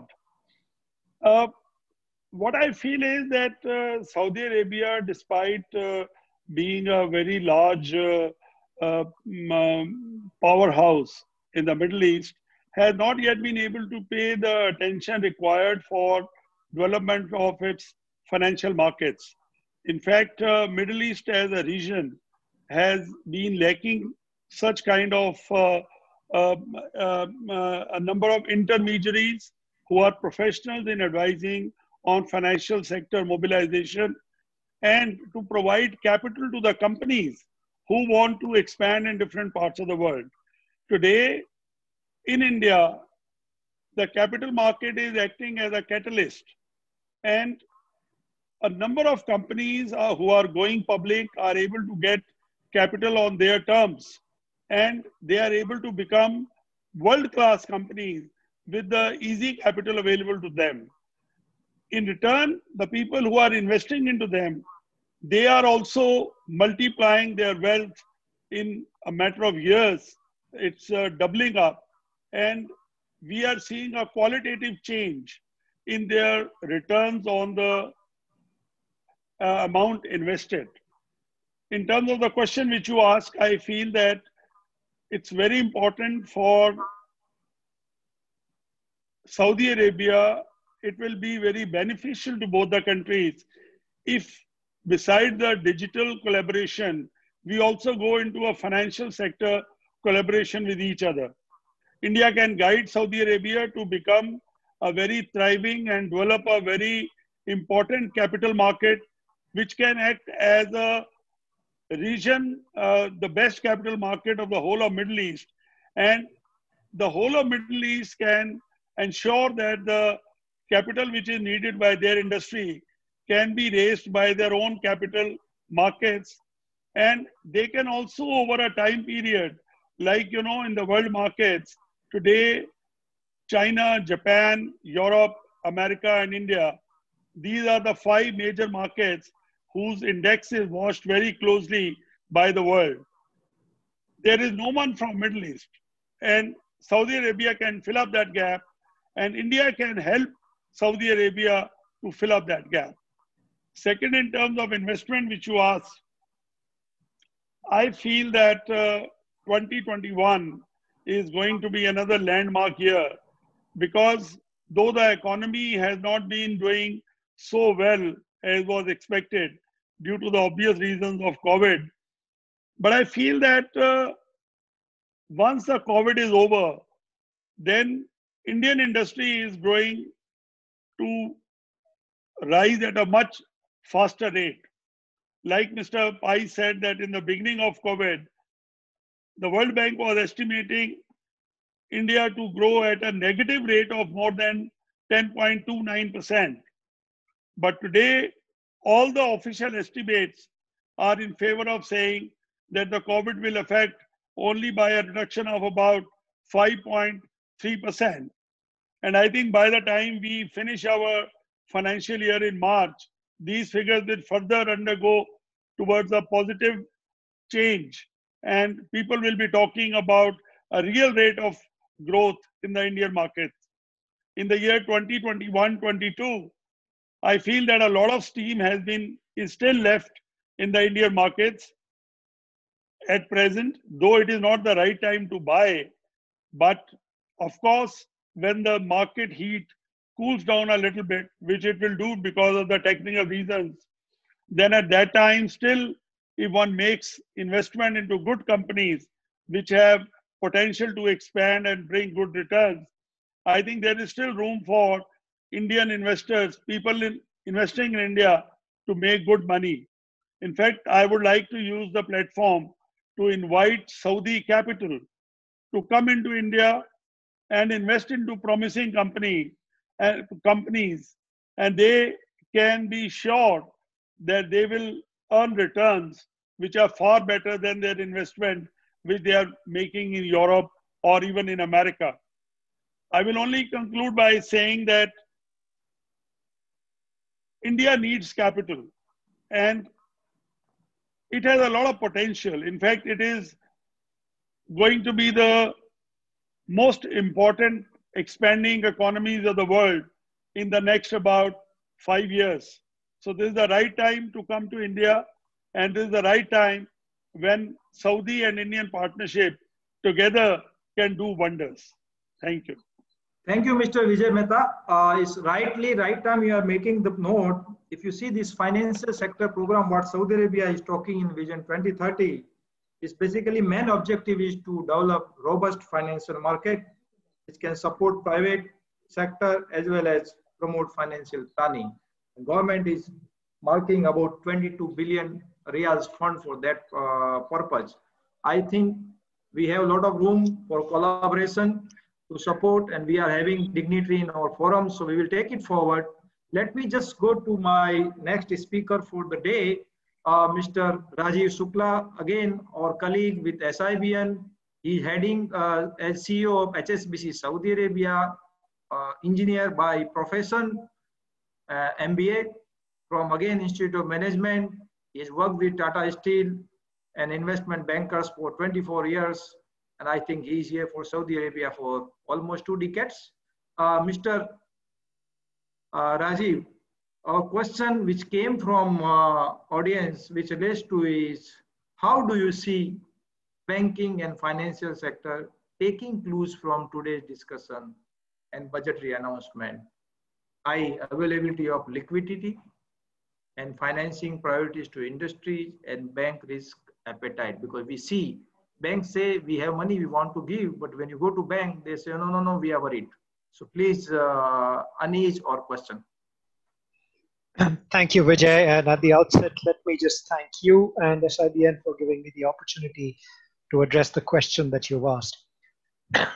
Now, the banks reflect the underlying economy, and banks play a key role as you kind of hinted in supporting economic growth. Hence, I'm very happy to speak about the banking and finance sectors.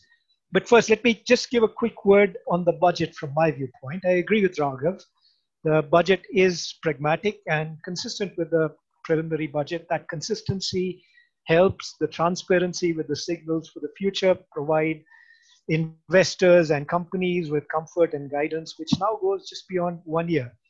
But uh, the utility actually has gone beyond just the budgeted numbers. For instance, um, you know, we, we know from announcements for the next couple of years, each year PIF will be stepping in with 150 billion dollar annually. So the decline in the uh, in the expenditure of 7% that Raghav mentioned actually reduces to just 2% if you factor in the PIF spending.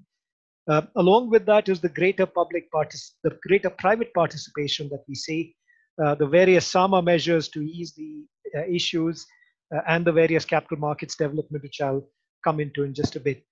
For us, the outlook for 2021 is positive. Uh, we are seeing early signs of that in the third quarter numbers and the early PMI indications. Of course, as uh, Dr. Pai said, the vaccine uh, should provide a return to normalcy in Saudi Arabia as well, uh, although obviously it will be back ended into the second half.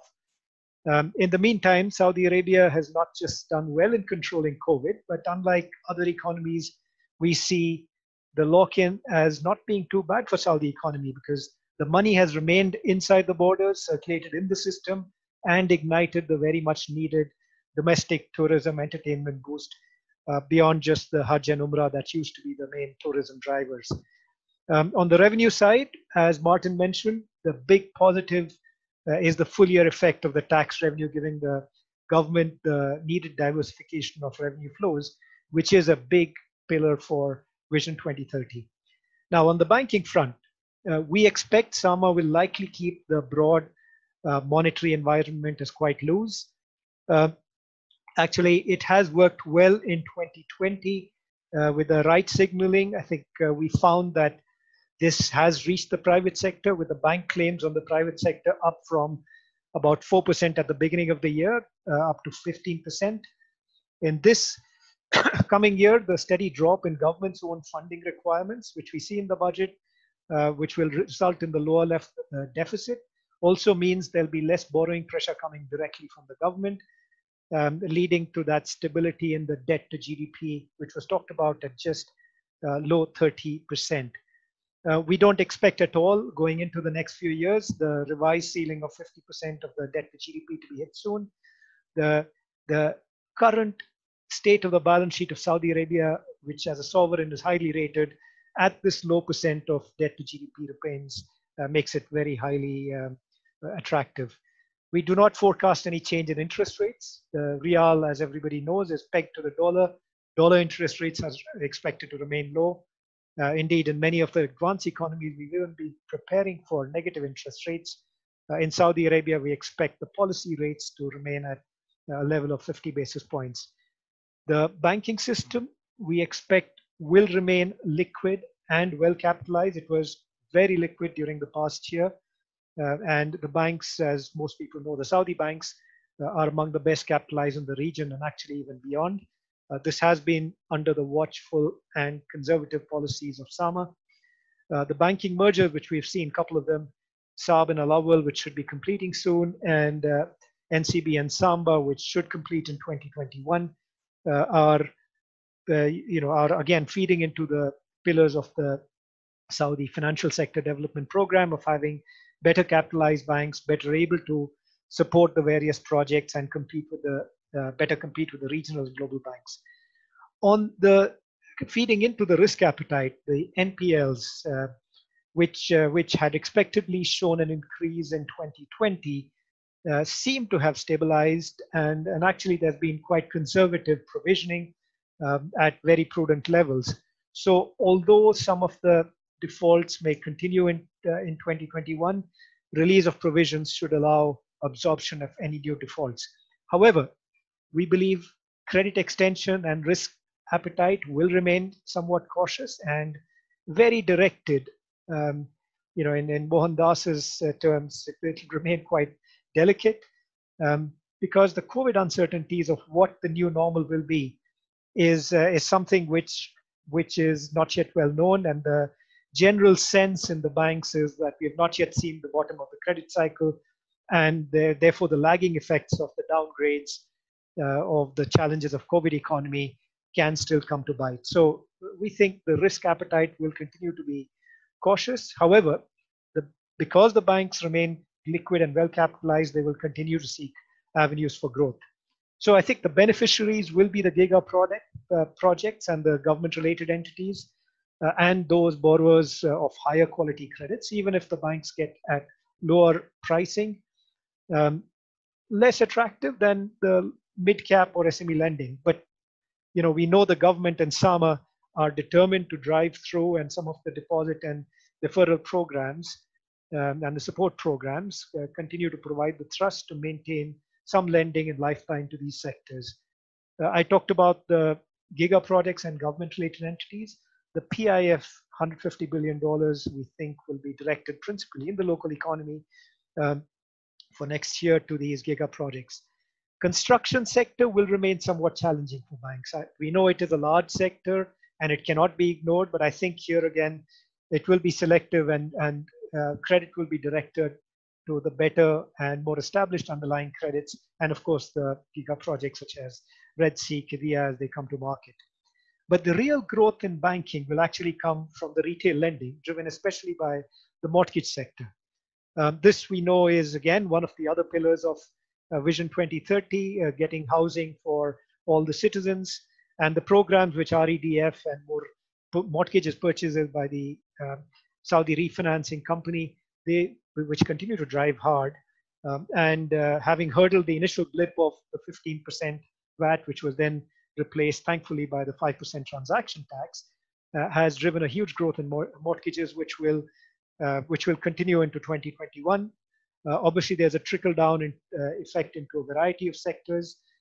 the other, although tourism and international travel is down, but given the effect in the economy of local spend, I think restaurants, low entertainment, we are already seeing increases, you know, coming out of the POS and ATM numbers. Uh, and of course, international tourism should open up once the vaccine programs take effect. Um, the corporate lending should also be supported by the broader privatization effort. Um, you know, privatization uh, of many forms we, we have seen. One is just simply list the company like Aramco. There are others in the pipeline, but also asset and business sales. In 2020 itself, we saw uh, SAGO, the Saudi grain mills, private privatized two of its four grain mills. Another two are in the pipeline. Uh, there's privatization of the PPP kind. Um, the in the education space, the Clear Building Corporation with the first wave of 60 schools, uh, that was affected and is in the pipeline. Other education and healthcare PPPs are on the way and uh, being shepherded very well by the National Center for Privatization, which is firmly well established. The local bank lending actually should continue to be augmented by international bank financing.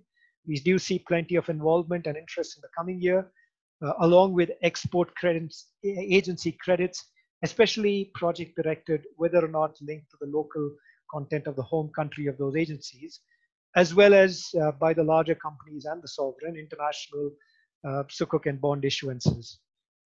Um, just switching from the bank to the capital markets, because that is, of course, uh, it is becoming a strong complement to the local bank financing.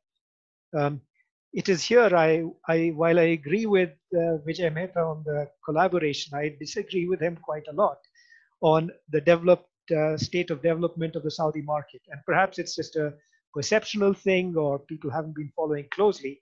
But essentially, in the last uh, 18 to 24 months, Saudi Arabia's capital markets have actually catapulted and developed very, very rapidly, driven, of course, by the Aramco listing. Uh, Saudi Arabia now ranks among the top 10 capitalized markets of the world. But it was not just one company that, uh, that drove it. There was the inclusion of on the emerging markets indices, MSCI and FTSE, uh, acknowledged to be one of the fastest in the world. Um, then you've got the smaller board, the Nomu market, which is very active, sees direct listing um, into Nomu, and then you have a pathway uh, under certain parameters to of those companies getting into the uh, into the main market. Uh, none of this can be ignored we see all the various elements uh, in terms of infrastructure being put in. We saw derivatives getting introduced for the first time this year with the um, with the index derivatives coming into single stock perhaps next year and a proper depository system and central counterparty already there. We are already seeing alignment of the Saudi capital markets with the Western uh, capital markets. So we do see a lot of activity, a lot of pipeline in the IPOs. Uh, I think you should see a lot more in 2021. Um, 2020, of course, the activity was driven more by the retail money and, and liquidity driven, but uh, 2021 should revert to more fundamentals. Um, but the big thrust for the government is also on the debt side. It has been stated by the Ministry of Finance, it has been stated very clearly by CMA that uh, the debt and debt instruments would be uh, would be the focus of the next round of focus for development. Uh, you would have seen already that foreigners are now able to invest in listed and non-listed debt developments, which should continue this thrust. Um, so I think uh, watch out for that particular space because um, Saudi capital market is already is already quite deep in the equities. And again, just as a factoid, um, the if I got my math correct, the Indian stock market between BSE and NSE uh, churned something like 12 billion dollars a, day um, the Saudi capital market, which is the biggest in the region, in the MENAT region, is uh, churns about $4 billion a day. So for a country that is just 30 million people compared to 1.3 in, in India, uh, that's not a bad liquidity or size uh, to be able to offer. So continue watching the developments in the capital market, which have taken place at a very, very strong basis, um, and to continue even further. I think further confidence has also been provided by cracking down on the malpractices um, insider trading and having a robust AML system, which is leading to greater confidence in the system. So uh, broadly, I mean, I just finished off by saying um, we do expect to see a better 2021, obviously, but the banking and broader financial system should be able to ready to support this uptake. Thank you, Vijay. Thank you, Rajiv. Uh, you well narrated how financial market is moving and one of the worry which every business was having, you know, banks are saying we are full of liquidity, but they are uh, cautious. You very well explained. I'm just taking your point on infrastructure. So let me just uh, move your discussion to our next panelist, Mr. Rahul Goswami. Rahul carries, uh, he's working with uh, Keystone as partner in Middle East. Uh, he has been very good uh, working knowledge on infrastructure, power and utilities, including renewables, PPP mode uh, uh, uh, support to business projects. So let us hear from him. Rahul, what are the key trends in Saudi Arabia infrastructure project and project financing and how will the budget have positive impact on such projects which some of our friends uh, from the student discussion take it forward. Yes, uh, thank you, Vijay, for this uh, opportunity. As always, it is a wonderful uh, to be associated with SIBN as I have been for the past so many years. Though practically I'm based in Dubai, most of my projects are based in Saudi. So uh, just a few clarification points uh, in relation to some of the points raised by Dr. Pradeep and Dr. Mohandas Pai. So we are seeing renewed investments in Saudi uh, in relation to pharmaceuticals. We are in the process of setting up a big pharma plant in the King Abdullah Economic City by one of the pharma giants. So in, in the utility sector, uh, as you might be knowing, the first uh, solar project, uh, the Sakaka project, the EPC contractor was an Indian contractor, so they completed it, and now the project is connected to the grid. So that's a that's a feather in the. And we have uh, also from Saudi Arabia, as people might be remembering, there's a lot of PIF uh, investment in the Reliance platform. So uh, around 1.3 billion, you know, dollars have been in, invested. So there is a lot of synergy and uh, very interestingly, uh, because of this synergy, we are seeing a lot of uh, interest from Middle Eastern, Eastern developers to invest in utility assets in India. So we are in the process of doing some due diligence for certain Middle Eastern companies for utility assets, especially solar assets in India. So I think there is a bit of synergy by this big, uh, you know, uh, influx of capital on both sides.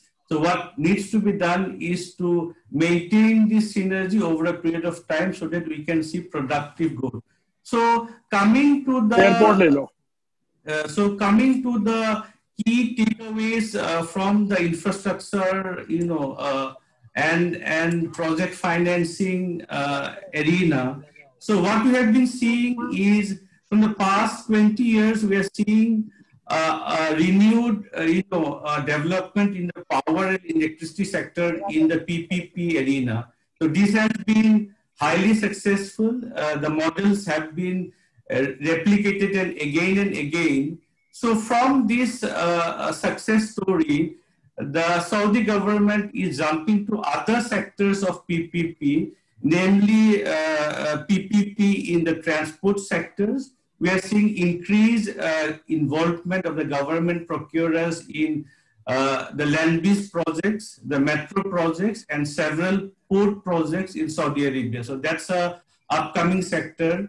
And recently also we have seen a number of PP in the PPP projects in the social infrastructure space, namely the healthcare sector, uh, the education sector, and the housing sector. We've just closed the TBC schools project, which is, uh, as, doc, as Mr. Sukla has mentioned, 60 schools uh, allocating around 50,000 students and uh, this will be operated by a private developer for around 20 years. So this is a new uh, area and, and uh, healthcare is a new area. There, there are certain PPP projects going on healthcare sector.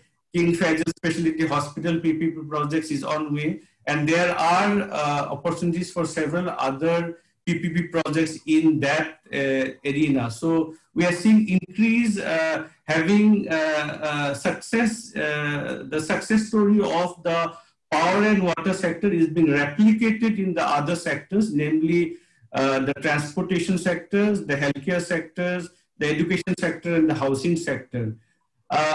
in, in addition to this, we are seeing a new trend where uh, there is a lot of movement in government procurers, you know, disposing some of the non-core assets uh, in terms of power, utilities, and petrochemicals.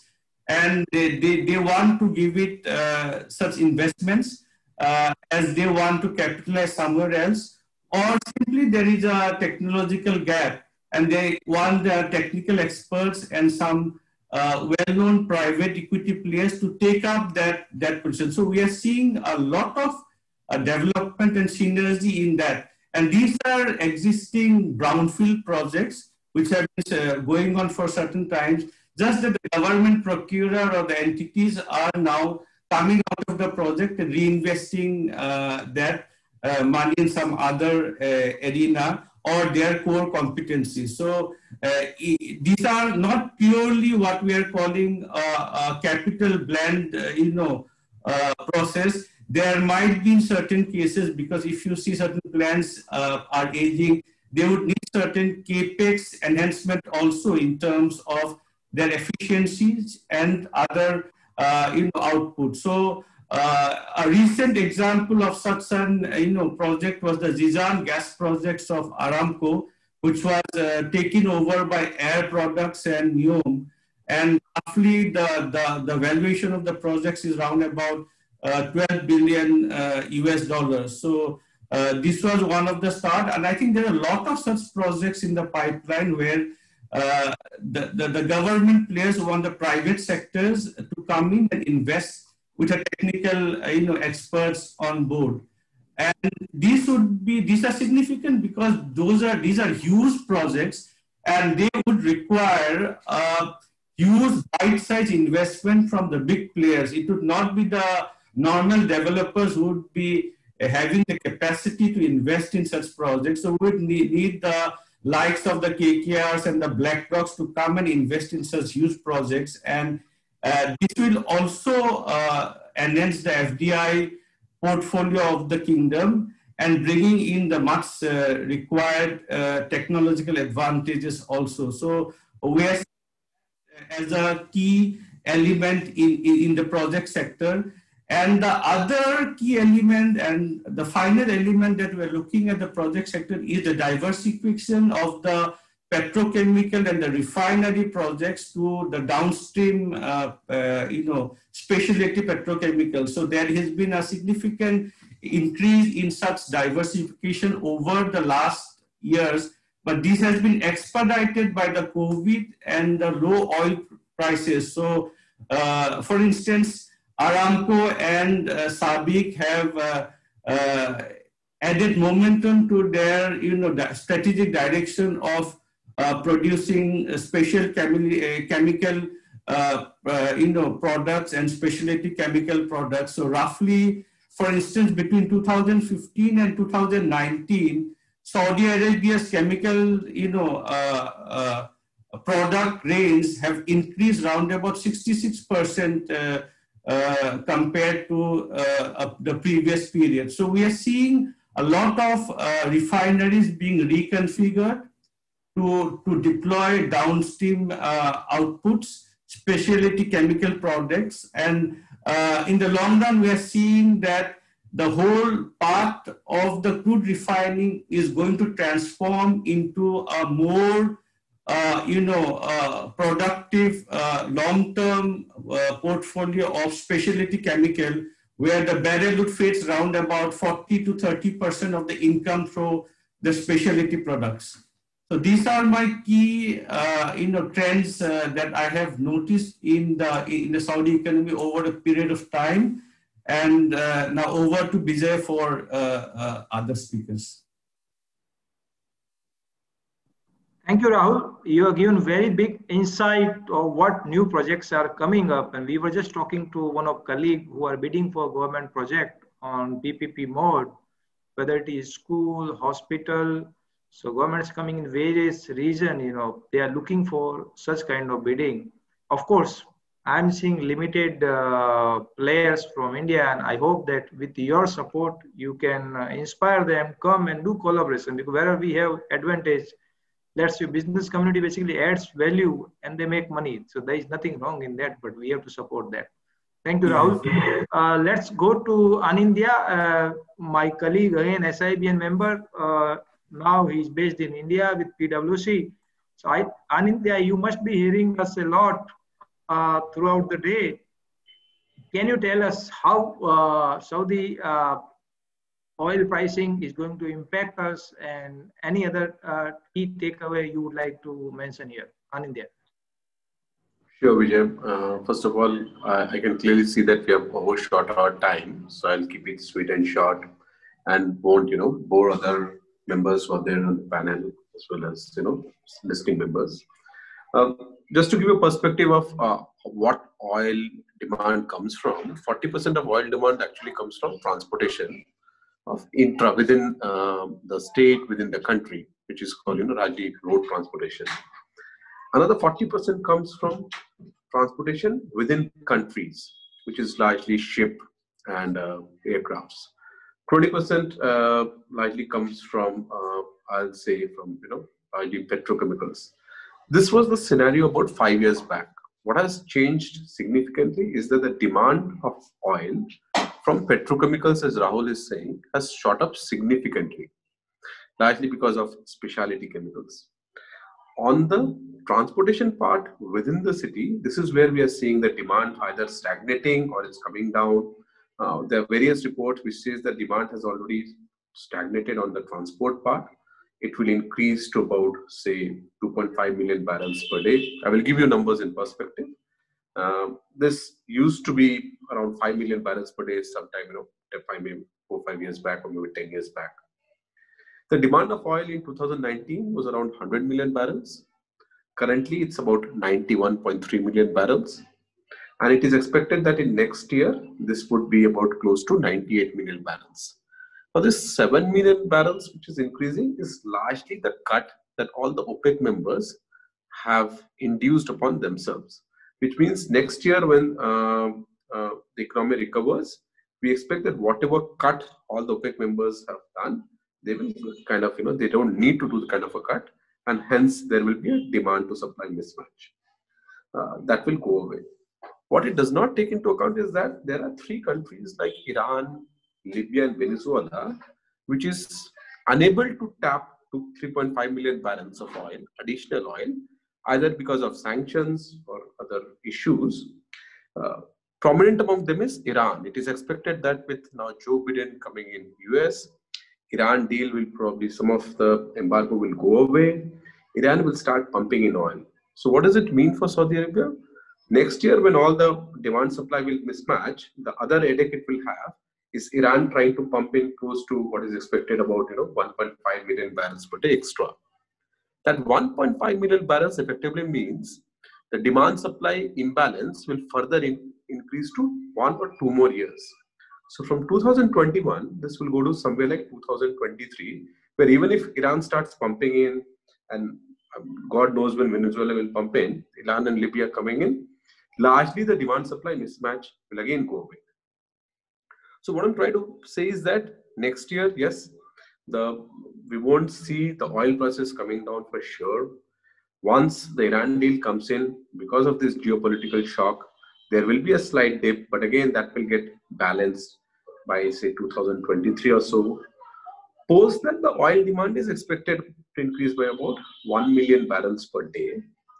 While it's not clear whether US shale gas has capacity to increase from currently 18 million barrels to 19 or 20 year on year. There are a lot of reports that say that probably US is already plateauing on whatever capacities has. Hence, 2023, 2024 onwards, whenever you know uh, the demand further picks up, we do expect the oil prices to go up further. Will it go to 100 million, uh, 100 dollars? Nobody knows. Will it re- uh, remain range bound for the next one to two years? Definitely. So the worst is definitely behind us when it comes to oil prices the demand or the characteristics of this oil will change. It will not come from transport. It will come from, I'll say, petrochemicals. That's where the growth is. And that is why you see in Saudi Arabia, the focus has completely shifted from upstream to rather downstream. And that's evident across the globe as well, especially in countries like China. Over to you, Vijay. Thank you, Anindya. You have given very short and sweet, uh, but your message is basically next two years you don't see much uh, changes in the current oil pricing. Uh, with that, I will just pass on to uh, Madam Hamna Mariam to say a few words and take it over. Thank you, Mr. Soni. Uh, greetings to all of you from the Consulate General of India, Jeddah. First and foremost, I thank Mr. Mohandas Pai in his absence, an eponymous name in the digital space. Mr. S- Mr. Pai spoke about reconfiguration of businesses, streamlining companies, ushering in digital revolution. He stressed on global tech being the new normal. The Embassy of India, Riyadh, and the Consulate General of India, Jeddah, has taken cognizance of this digital partnership and along with Saudi Indian Business Network, we are going to roll out a major event on digital tech with NASSCOM and CIO Forum as our partners. I thank the president of SIBN Jeddah chapter, Mr. Mazin Batterjee, for constantly supporting the endeavor to have closer collaboration in the bilateral growth story. I thank Mr. Raghav Khullar, the head of finance sector of Saudi Indian Business Network, Jeddah chapter, for a holistic presentation on the 2021 budget.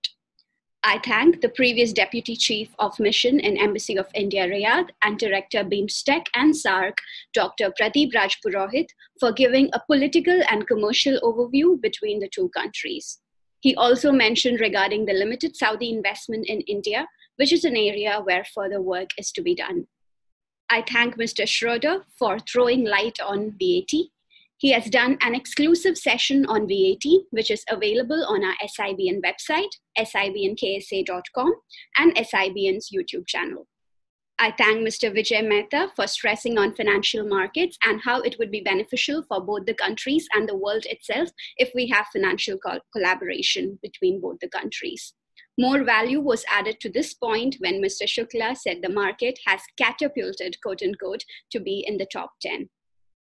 My thanks are due to Mr. Rajiv Shukla, CEO HSBC, signaling a positive outlook for 2021 and for driving the point of money remaining in the kingdom, increasing the spending within the borders. I thank Mr. Rahul Goswami for stressing on PPP projects in wide array of sectors.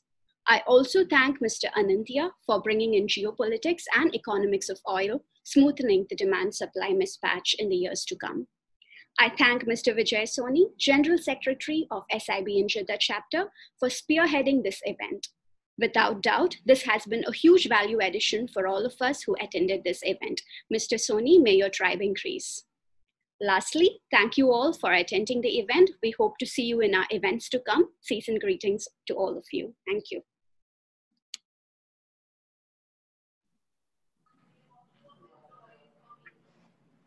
Thank you. Bye. Thank you. Thank you, ma'am.